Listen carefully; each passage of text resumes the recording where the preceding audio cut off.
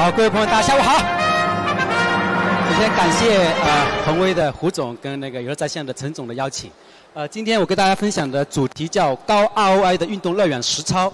啊、呃、，ROI 为什么我今天放了个英文呢？就是因为呃特别想大家去提提一下，就是提醒一下这个点要叫投资回报率，就 return on investment，投资回报率。刚刚那个梅院长就说到，就是说营收、销售额不是我们的目标，利润可能也还不是，但是投资回报率才是了，对吧？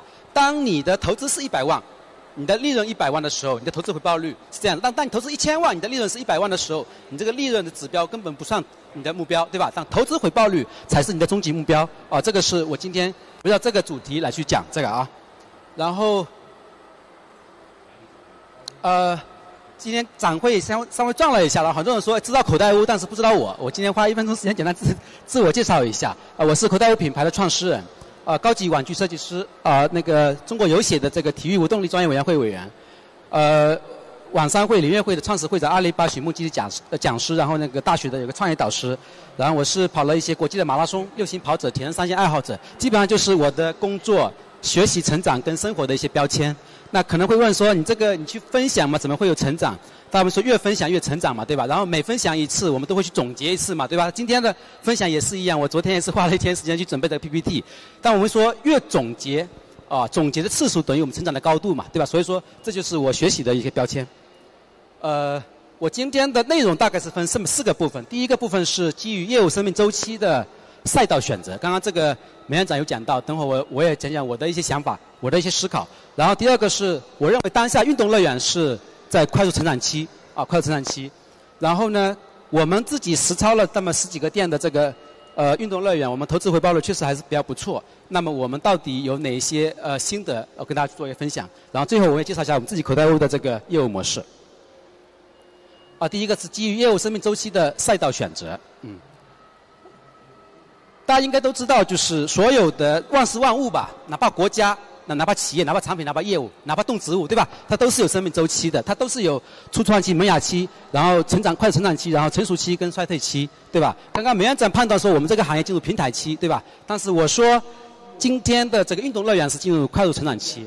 那我们会知道，在快速成长期，呃，你基本上随便做一下，基本上都会比较有比较好的效果，就是半功倍，对吧？就类似有一种在风口猪飞起来那种感觉。如果说你在这个成熟期甚至衰退期，类似于就进入一个红海，那你的业务相对来说比较困难，对吧？那么在不同的这个业务生命周期里面，包括我们自己公司，呃，我们也会有这种呃叫不同的业务的这个呃类型的这种布局。比如说我们现在有比较成熟的产品，比如说我们卖蹦床、卖设备、卖一些东西，那现在是我们的成熟业务，也跟我们贡献了很多利润。但是现在我们去经营运动乐园。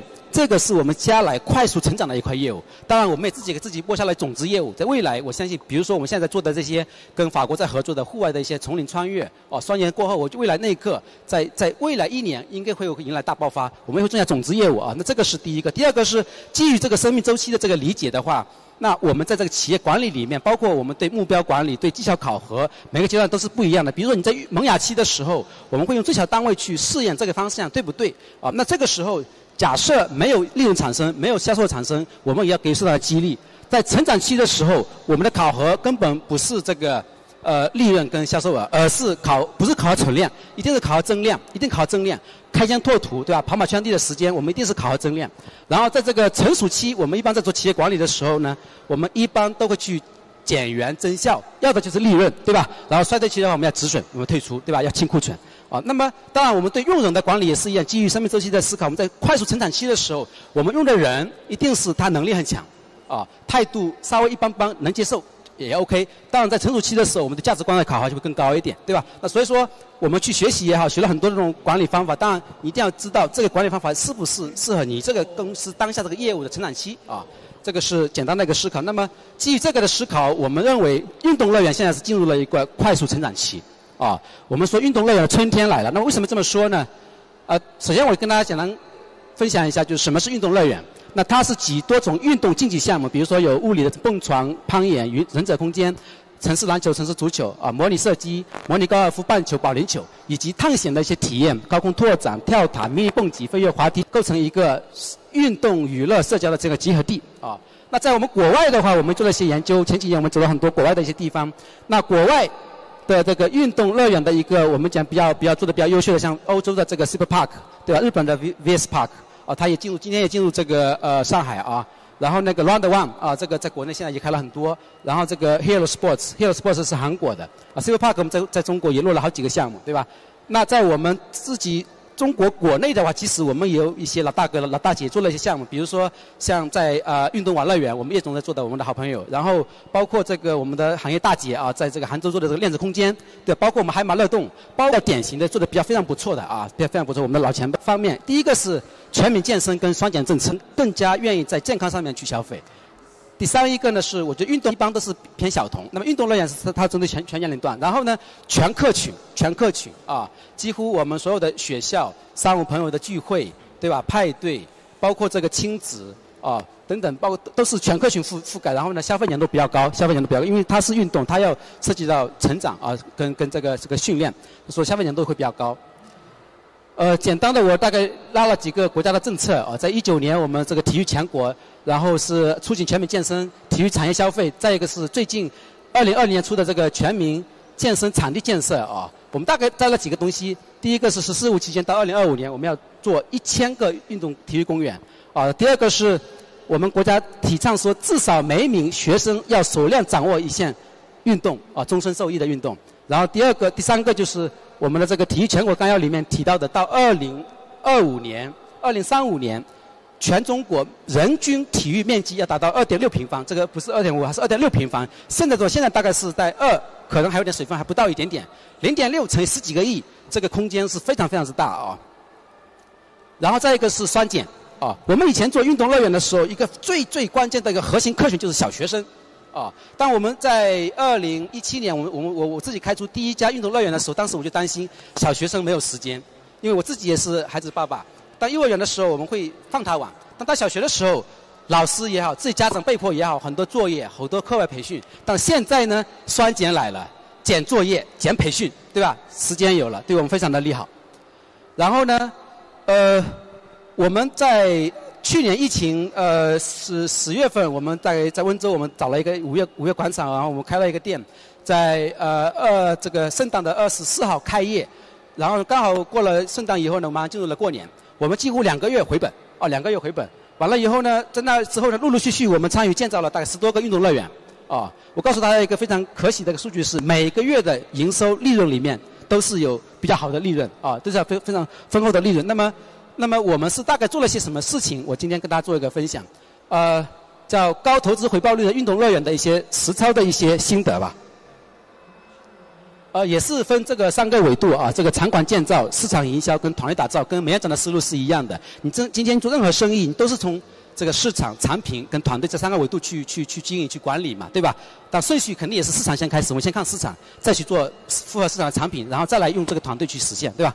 那么我们也是一样的，就是先是，我们来跟大家去分享一下，我们去建造运动场馆，我们的一些实操的一些心得，呃，分为从选址、从商业计划、从定位、从规划、空间设计、设备选型这几个维度去分享。再一个是市场营销，我们关于定价的思考，关于这个获客渠道、赛事活动、培训课程、生日派的企业团建，然后再来就是我们对团团队打造的最核心的这个几个理解啊。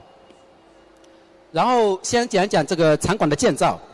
呃，建造 第一个肯定要面临就选址啊。我们尝试了过去在蹦床公园那个时代，我们就尝试了很多这种车，就是工厂店、厂房店。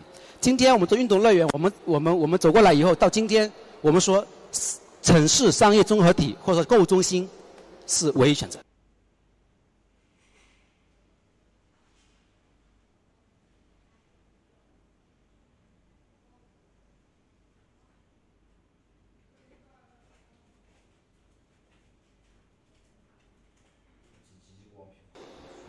啊，今天这个可能说的会有点绝啊，但是，但是这里面我我感觉是有几个点。第一个，今天你去做一个工厂店，它没有基础，消防要重新做，可能停车场配套也没有，你要可能重新要去整理。其实当价租金可能还比较低，不不错。所以成比政府地方的这种整体配套，啊，停车场，对吧？餐饮、购物、休闲，对吧？是这个，所以说就是它这个一站式的这个消费吸引就特别的更会更加的强大一点啊。所以说，我认为。这个今天要去做这个运动乐园商业综合体是不二选择，是不二选择。然后再是一个商业计划，呃，我们给每一个店去做这个呃设计的时候，我们有两个还原度，我们经常会追求两个还原度。第一个还原度是我们该做的环境设计好了以后，我最终呈现出来实物这个还原度。第二个还原度是你这个店交给我，我给你做商业计划。这个商业计划做好了以后，你开业了以后，运营一年以来，你这运营的一年里面，你照着我的这个运营思路去做，你的营收还原度基本上做的还比较好。所以说，我们相信结果是设计出来的。你去开一个店，我们前期会做这个城市区位、人口、平均消费、住宅、小学、学校，对吧？包括写字楼，甚至是你的这个呃同行的这个竞对，包括我们的异业可以合作的友商。哦，等等，我们会做非常充分的分析，完了以后，我们再去做这个规划，然后再来去基于这个数据，基于这个规划，我们来去提供这个运营的策略，哦，一套东西。所以说，我认为每一个店成还是败，在前期就已经知道的，结果是设计出来的。那我们的设计也会在这个策划商业计划书里面，我们会有这个投资的预算，包括营收的预算以及利润的预算啊。这个还原度目前来说还是相当不错啊，还是都比较高。然后再来就是定位，呃。今天我们讲运动乐园是个专业术语，但是我们一般你去开一个门店，呃放一个门头的时候，我建议大家叫家庭运动中心。啊，我前几年非常受美国的这个叫 FEC 家庭娱乐中心这个影响。实际上，今天在中国家庭运动中心是今天非常好的一个成长跟春天的春天的一个业务啊。那为什么是家庭呢？因为我们看到我们的运动乐园里面，虽然说它的客群是全覆盖，但是百分之七八十你看都是。大家一片的小学生，啊，不以及然后呢规划，我们做规划的话有两个，我们自己给我们设计团队经常会去讲的这个两句话，我们经常讲，第一个是无运营不规划，当你去做这个规划的时候，有没有考虑这个运营？啊，有没有考虑？做的会比较多一些，就我们的运营，我们的规划，我们说无运营不规划是我们在考虑资方、考虑投资人，对吧？他一定是有比较好的投资回报的基础上，我们再来规做规划。我到目前为止建的每一个店，我自己都是首席体验官，我每个项目都要自己亲自去玩过啊，不好玩不规划。那么规划两个核心就是动线跟这个分区啊，这个大概就过正义。我觉得今天所有东西美啊，就是吸引人，美它就是对的。啊，所以说美，但是呢，并不贵啊，不一定贵啊。呃，预算六十万，啊，很美，但是不贵啊，很美，但是不贵。这是我们自己开开的店。再一个就吸引人啊，一个无动力设备两百平方里面，它可能进去两百人，但是你如果说说做做数字运动，两百平方可能就十个设备，对吧？那十个设备，这个大家都在排队啊，大家都在排队。所以说这个我们运动竞技百分之五十配比里面，至少要一半以上的无动力设备的这个 这个配置。大概我罗列了一些这个运动竞技的一些项目啊，运动竞技有一些，比如闯关啊、攀岩啊、蹦床啊这些无动力类的这运动，再配一些数字运动、模拟运动。然后有乐有益呢，基本上就是有乐的代表就是滑梯嘉年华，是有乐里面的典型代代表性设备，包括海洋球，对吧？那么有益的话，有益的话是声光电结合的这些有有益娱娱乐设备，比如说娃娃机 V 啊，对吧？包括。这个呃机械类的旋转木马呀等等啊，这些我们叫包括电网有一些有一些有些骑乘类的电网等等，叫有乐有益设备。我们建议配到百分之三十足够。然后呢，百分之二十的我们把空间给利用起来，因为一般做运动类空间还比较不错。然后把高空的一些设备啊，包括迷你蹦极啊，我刚刚说的就是每一个项目我都是自己都亲自体验，这就是一个迷你蹦极，我自己去体验的。然后包括一些高空拓展啊，包括这个跳塔啊，包括高空秋千、飞跃滑梯等等。基本上啊，这样子设备配置，你的运动乐园基本上就比较就比较就比较不错。然后呢，就关于这个，呃，接下来就关于这个市场这一块。那么，呃，建造这一块，我刚刚说了，在这个风口，真的是你就要按照这样子的选商场，找我们给你配置，找我们给你规划，找我们给你做商业计划，找我们给你给你整个配套，给你给你落地，基本上渠道简单以上都赚钱，现在基本上都赚钱啊。然后呢，当然就市场营销，如果说接下来我分享这些东西，市场营销这些再做一做的话，我觉得。这个绝对是高 ROI，绝对是高 ROI。那么先跟大家讲一下，就是关于这个定价。先关于定价的思考。嗯，我过去有几个店长跟我呃反馈的时候，他说太感谢王总，你当时给我这个店的定价他说你当时定这么高，我都不敢定。他说为什么？他当时今天他说就多亏你当时这个定价，我们现在有非常好的这个利润啊。那么到今天我们有几个观点给大家同步一下。首先第一个，销量是跟今天你这个市场有关的，你市场有多大，人口有多少，对吧？小区有多少，跟市场跟需求有关的。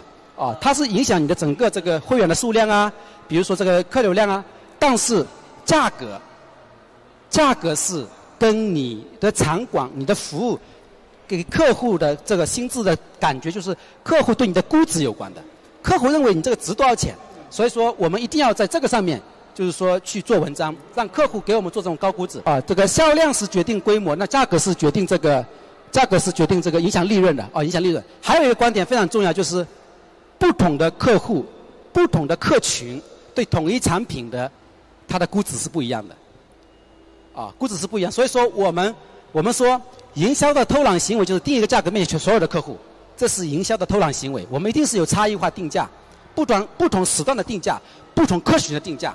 当然，他们来的时候，他只会看到这个时间他来，他只会看到他他面他的这个这个价格，看不到更多的这个。我们可能背后有二十个价格。当他来的时候，只会看到他他要的那个价格啊。所以说，我们会定很多差异化定价去面对不同的客户。这个是我们关于定价的一些思考。然后呢，关于渠道啊，渠道有很多，我简单也列了一些。但是呢，在渠道落地的时候，呃，包括美团今天也不是每有个每一个城市它的这个成效都是有一那都有一样的好，一定是考虑你的本地化，你的本地化的渠道。就是今天你去看，比如说另外一个店在广州做的，它是用什么营销的渠道？你可以参考一下，但是不能照搬。你一定是回到你这个城市，大家人们亲子家庭，你的潜在客群，他们去吃喝玩乐，通常会通过哪个渠道？这是一个最重要的。然后呢，选好优先序，资源、时间、团队能力都是有限的，先做好集中，一个个往下做啊。这个是我们的观点。然后再来呢，就是市场营销。里面的一个赛事活动，因为我们是运动乐园嘛，我们可以不断的组织赛事活动。刚刚那个刘总讲的这这个道理，对吧？就可以就可以激发顾客不断的去进阶，不断的去成长这样子的一个动力，对吧？然后呢，增加消费粘度。啊，这个活动是一定要做的，一定是一定要做的。这些是我们自己口袋为我们做的一些蹦床的一些赛事啊，包括我们会有提供全年的活动计划啊，全年的活动计划。然后就是课程，呃。我今天放了这么一句话，我说国家有政策，市场有需求，只是很多时候连顾客都不知道。我今天举个例子啊，关于蹦床，蹦床国家体总局蹦床部已经推出来，就是业余业余的蹦床爱好者也可以考等级啊，四到九级。大家知道专业的运动员他有二级运动员、一级运动员、国家级健将跟国际级健将，对吧？我们以前说这个运动呢，只有专业运动员才有等级。今天说未来，我相信关于攀岩。哦攀岩也是奥运会的项目，对吧？关于攀岩、关于蹦床，都会非常完善的这个叫业余等级考级。哦，那这个考级未来在择校、在学校定向的这个这个特长生的招生，都会有很强大的帮助。大家知道奶茶妹妹是怎么进清华大学的？那个，对吧？这个大家去淘百度一下，我就不展开讲。就是一个简单的一个类似于健美体操类的一个一个特长，特呃这个这个这个特长，对吧？所以说。所以说，我们也会去开这种体适能，包括蹦床、包括攀岩这种这种培训课程啊，这个也是非常好的一个营收啊，也是非常好的一个营收。然后再来是关于这个派对观团建，呃，我举一个例子是我们在北京做的一个项目，呃，那个店长在二零一九一八年就两年连续年一年做一千场派对加团建，大家觉得恐怖吗？但是很多人就把这个东西忽视掉，市场很大，但是没有去做。我说，一个两千方的场馆，至少一年可以接五百场派对跟团建，大家一定要把这个当做这个指标去做啊！派对跟团建，它不仅是一个客群的一个营收，还重要的是它的这种。裂变式的这种营销的这种概念，价值都非常非常之大哦，非常之大。今天我们去做的这个派对的时候，我们都自己都做的这开心的笑起来。一个班级几乎派对做进去了，有一个班级一年下来十几场，啊，四十个学生，同某一个学同学来了以后，其他同学他说我也要来，也要来，也要来这里，也要这个套套套套餐。一个班级四十多个人，至少十几场。你说你们的店周围有多少个班级，对不对？包括团建也是一样。所谓的团建不以团队凝聚力、不发个朋友圈为目的，都是来耍流氓，对不对啊？那所以说做团建的那些人，过来做团建的那些那些公司，几乎每一个员工也都会发朋友圈，对吧？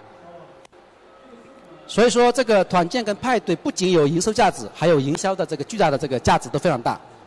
呃，这个是关于市场营销的，我们简单的体验了几个心得。再来就是讲这个团队打造。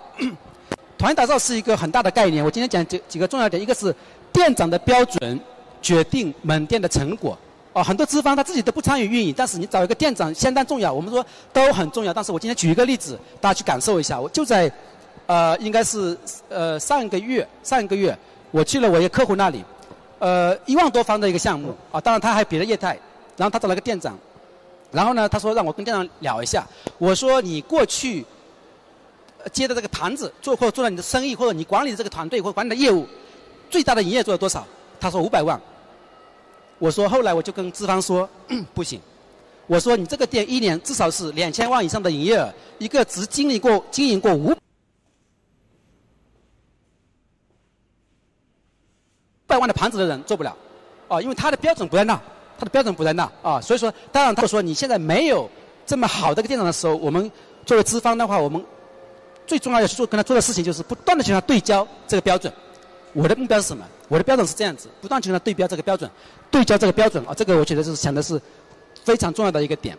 然后再来是这个团队，我说团队成员的气质可以占领顾客的心智，这个非常重要。我们去我们我们在所有的我们的运动乐乐园里面，我们提倡一个活力啊，就你们人人都是具有活力的啊，包括我们的员工都会跟着我去跑马拉松跑步啊。就是，但是这个活力包括精气神非常好的这种气质，你不是来了以后，后期经过长期这种培训的培训的记忆开始到他的这个后半生的所有这种成长过程当中，每一个故事、每一个经历都会跟他气质会谈到他气质有关。所以说，我觉得团队成员的气质是你选过来的，是你招过来的，招是最重要的，培养当然也要做啊，培训也要做。时间有限啊，就快速过一下。再一个是。这个顾客需求洞察，我们会让我们的这个店员每一天汇报工作的时候，一定要有这个东西，就是你今天聊了几个客户，聊天聊几个客户，我经常问他，你今天找顾客聊天了吗？今天我们做一个门店，我们店员每天来每天来的时候，他自己都会有这种管理的心得就会出来，因为顾你在跟他顾客聊的时候，他有好的会反哺给你，不好的他会提给你，那每个店员他聊的时候，他自己都会知道该怎么干了。都所以说，我们要让顾，我们要让我们的员工找顾客聊天，去洞察这个需求是相当相当重要。就这么简单的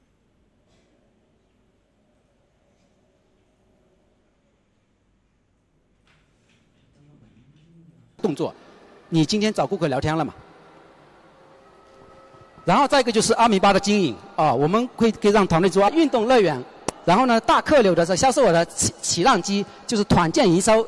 团建营收，然后呢，高消费用户的造梦机，就运动乐园派对营收。我们的派对有些派对都能做两万、三万，就一个派对下来，营收都是两万块钱、三万块钱一场啊。这个是高端消费客户，客户的这个有时候他的估值真的是消费能力都很强啊。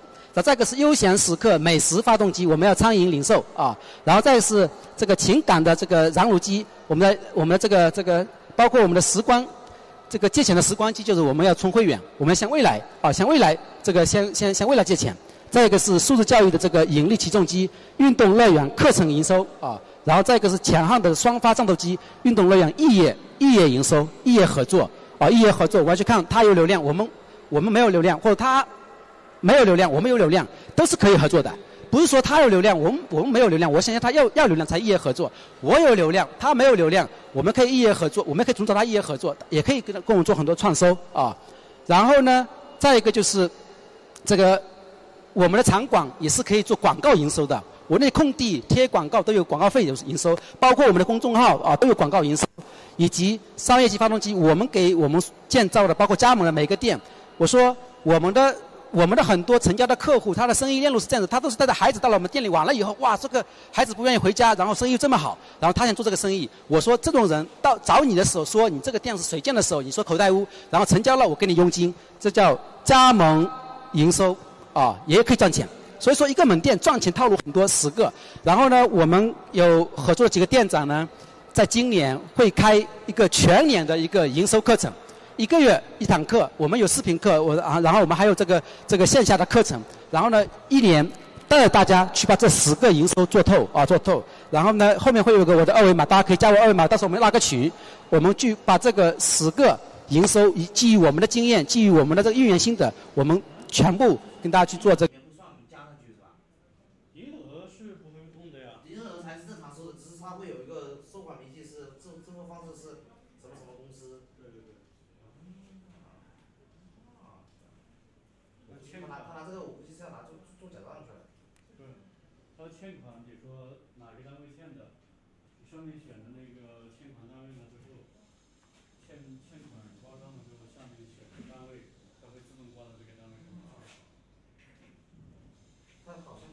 这个毫无保留的这个分享啊，毫无保留分享啊，这这个是我们自己呃口袋屋，我们接下来就要去开的一个运动乐园营收的这个大的一个课程啊，大的一个课程。接下来还我看到是有个圆桌会讲营收更重，开源更重要还是成本更重要？两个都重要，但是营收更重要，对吧？